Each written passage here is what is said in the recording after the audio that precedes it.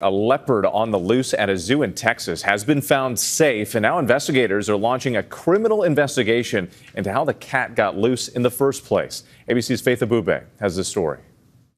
This morning, a mystery unfolding at the Dallas Zoo. Police launching a criminal investigation into how a clouded leopard escaped its enclosure. It is our belief that this was an intentional act. Dallas police say they believe someone deliberately cut that mesh that kept the adult wildcat in its enclosure, allowing the animal to escape, triggering a frantic search Friday. Police dispatching SWAT officers and using drones with heat sensing technology to try and locate the leopard. The state's largest zoo closing the property to the public, declaring code blue, an internal alert meaning non-dangerous animal that is out of its habitat. She's designed for life up high in the trees. Hours after the search began, the 25-pound leopard called Nova was located near her habitat. The police investigation now focusing on who might have had a hand in the escape.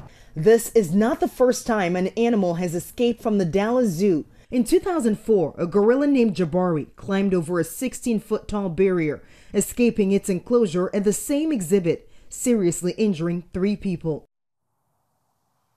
And Eva, the Dallas Zoo says it is thrilled to have secured that leopard without incident. They say there are no initial indications that it was injured, but there is a medical staff evaluating her, and we should expect an update sometime today. Everyone, Eva. glad that everyone is okay.